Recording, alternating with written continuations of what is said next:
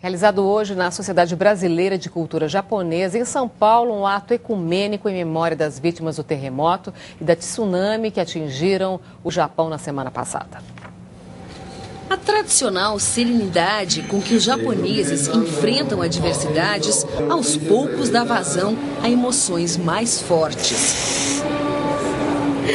Desculpa. Pior para eles é a ameaça nuclear. Não é terremoto nem tsunami, nada, né?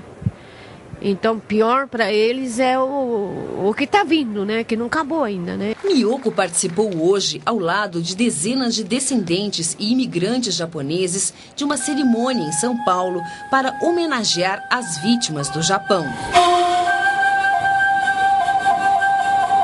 O culto ecumênico colocou lado a lado um padre católico, um pastor evangélico e um monge budista, todos filhos de imigrantes em comum também a preocupação com a vida de quem sobreviveu ao terremoto e ao tsunami, mas agora sofre com a ameaça da radiação.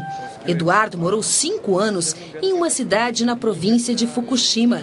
Não sabe o que aconteceu com os amigos que deixou por lá. Que eu não estou tendo comunicação com eles. Provavelmente é que eles moram perto da usina de Fukushima, que no caso seria na cidade de Odakamachi e Namie, que foi menos de 10 quilômetros da, da usina.